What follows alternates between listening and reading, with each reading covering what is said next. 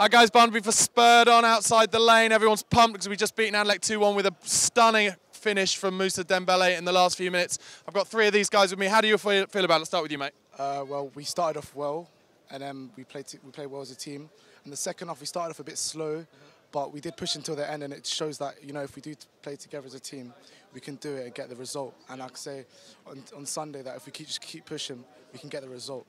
And do you think these late goals that we're scoring are as a result of the uh, Pochettino fitness factor? Is that what it's all yeah, about? Yeah, I think with the fittest team along with Bournemouth in the league, showing like his training must be hard. They're working the players hard.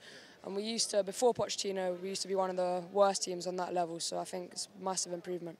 Okay, and uh, obviously we saw Heung-min Son's back and uh, Dembele's playing really well. Who would you play in the three behind Harry Kane on Sunday against Arsenal? Um, I'd go with Heung-min Son, Eriksen and Dembele behind and Alli and Dier in the holding midfield. I think we'll have a great chance against Arsenal. Okay, guys, so one, one word each prediction Sunday. What's it going to be? Two or three one. Two or three one? 2 1. 3 0 Tottenham. 3 0 Tottenham. Confidence at the end there, guys. Let us know if you agree in the comment section below. Don't forget to subscribe to the channel on YouTube and follow us on Twitter at Spurred on TV. Cheers, guys.